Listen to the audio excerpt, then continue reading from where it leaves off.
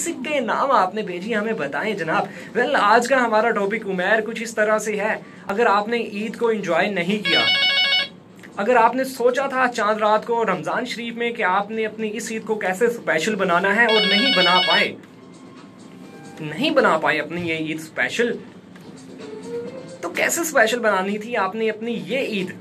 یاد بھائی یاد آ کال نہ لے لیں۔ جی جی ابھی لے لیں کال لائیو رہنے دو یار رہنے دو۔ اچھا آپ کی بات سے یاد آ چکا کہ یہ وہ قوم ہے ہمارے جنگ کی خاص طور پہ کہ وہ تیس دن شاپنگ کرنے کے بعد تین دن جو عیدی ہے وہ مطلب عید کی جو تین دن ہے وہ سو کے گزارتی ہے۔ اچھا۔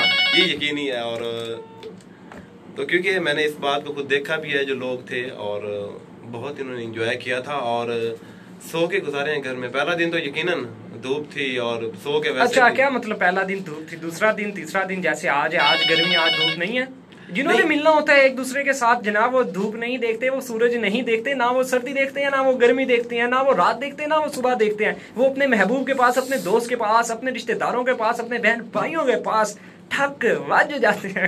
لیکن وہ آپ کی بات ٹھیک ہے لیکن وہ کہتے ہیں کہ تیس دن روزے رکھنے کے بعد یا انتیس جو روزے تھے ہمارے یہاں گزرنے کے بعد وہ کہتے ہیں کہ چلو یہ تیس دن جو تین دن ہے یہ ہم سکون کرتے ہیں کیونکہ وہ طبیعت انسان کی کافی خراب ہوتی ہے۔ جیسے اب میری میں تیسرے دن سے مجھے نزلہ زکام کافی ہے اور کیونکہ تبھی تبھی تو ٹھیک نہیں ہو پا رہی تو آپ پھر بھی اپنے لسنرز کے لیے اپنے فینز کے لیے یہاں پر موجود ہیں۔ یقیناً بڑی قربانی ہے جناب یقیناً یہ لوگوں کی چاہت محبت یہاں پہ لے کے آتی ہے۔ یقیناً ابھی میں آ رہا تھا تو مجھے راستے سے ایک فلاور کی شاپ سے مجھے میرا دل کہہ رہا تھا میں ایک بہت زیادہ پھول کی پتیاں لے جاؤں اور آواز ایف ایم ایکس پانچ لا کے لائیو روم سے بیٹھ کے وہاں پہ ایسے نچھاور کرتا رہوں۔ لیکن مسئلہ یہاں پہ آیا کہ آپ آپ بہت قریب ہمارے دل کے۔ تھینک یو سو مچ جس کو کہتے ہیں میرے